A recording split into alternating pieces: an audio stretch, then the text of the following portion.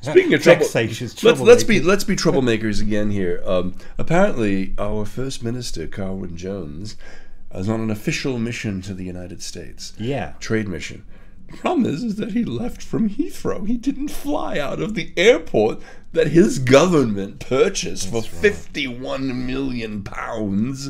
You know that was basically bankrupt, and even he's not using Cardiff International Airport. What the hell is going on there? Um, that's amazing, isn't it? You know, I mean, well, that that because uh, he is going out to has gone out to America to fly. The, what does that mean anyway? Flying the flag of the world, anyway. and uh, his economy minister Ken Skates is going to Japan. I think you know, all paid for incidentally by us.